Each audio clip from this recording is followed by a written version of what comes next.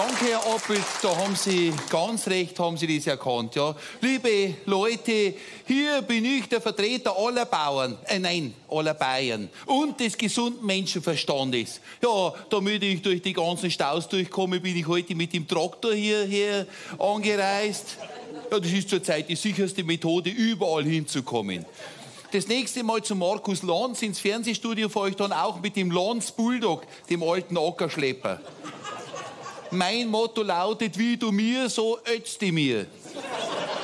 Ich sage zu den protestierenden Bauern auch jedes Mal, danke Bauern, Gott beschütze euch. Danke, dass ihr uns von den Klimaklebern befreit habt. Diese Angsthasen trauen sich ja jetzt nicht einmal mehr auf die Straßen. Was war das am Montag für eine Bauern-Showdown in Berlin? Ein Showdown wie im Western-Klassiker 12 Uhr mittags mit Gary Cooper und Große Kelly. Ja, auch schon am Sonntagabend haben ganz viele Traktoren ganz Berlin erleuchtet. Die Hauptstadt war so hell. Eine Lufthansa-Maschine wollte schon nicht auf dem Berliner Flughafen, sondern aus Versehen vor dem Brandenburger Tor landen.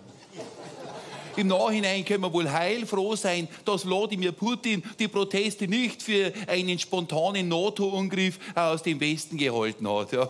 Liebe Leute, vor kurzem habe ich aber geträumt, dass wir Freien Wähler wieder das Königreich Bayern eingeführt haben und zwar regiert von der Kaiserburg aus. Ja, ja die Franken, die wurden 250 nach Christus erstmals urkundlich erwähnt. Die haben über 800 Jahre lang Europa gelenkt und geleitet. Sie hatten das Bier, sie hatten den Wein, sie konnten konnten an Tischen sitzen, mit Messer und Gabel essen. Sie waren eine stolze Hochkultur mit Herzögen, Königen und Wagen und Straßen. Zu dieser Zeit ist man in den Wäldern von München auf den Bäumen herumgeklettert und hat die Angst vor der Rückkehr der Dinosaurier, liebe Franken. Das muss einmal gesagt werden.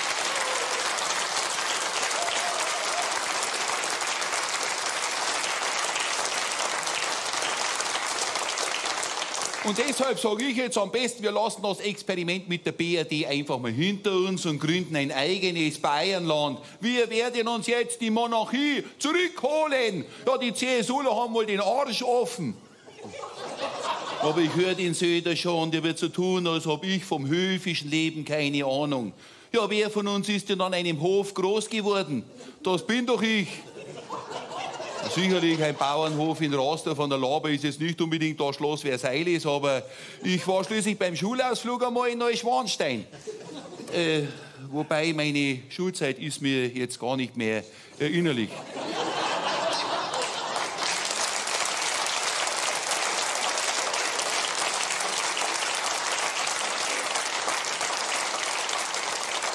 Aber tatsächlich bin ich dem Adel schon seit frühester Jugend immer sehr nah gewesen. Ich bin der adeligste Politiker unter den Mitgliedern der bayerischen Staatsregierung.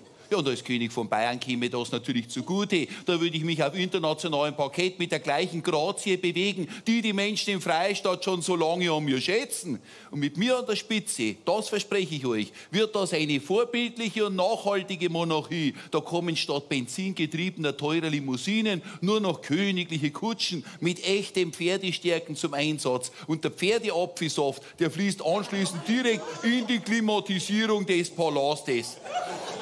Denn genauso, meine Damen und Herren, funktioniert der Adel der Zukunft. Ich werde das Königreich Bayern zur ersten biogasbetriebenen Monarchie der Welt machen.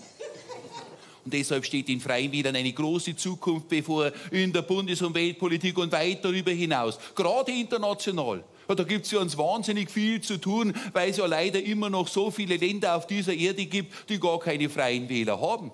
Ja, Russland zum Beispiel oder Saudi-Arabien oder der Oman, Papua-Neuguinea.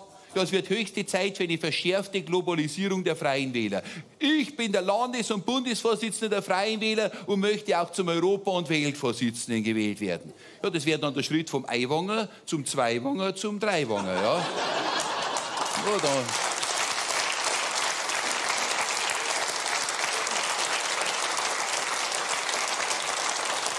dann wäre ich praktisch der weltweite Schmelztiegel aller Freien Wähler. Ich werde das gleich ganz schnell von meinen Parteigremien beschließen lassen. Äh, ich meine, natürlich diskutieren lassen. Wenn Sie, meine Damen und Herren, also eines Tages einmal hören sollten, dass zum Beispiel in der Volksrepublik China ein hochintelligenter Politiker der Freien Wähler die Massen bewegt, der, sagen wir mal, den Namen Ai Wang Wang trägt. Und dann wissen Sie jetzt schon mal Bescheid. Zum Abschluss eine Bauernregel. Föhnt der Hahn sich seinen Kamm, glüht er rot und steht ganz stramm. Kikeriki! Danke.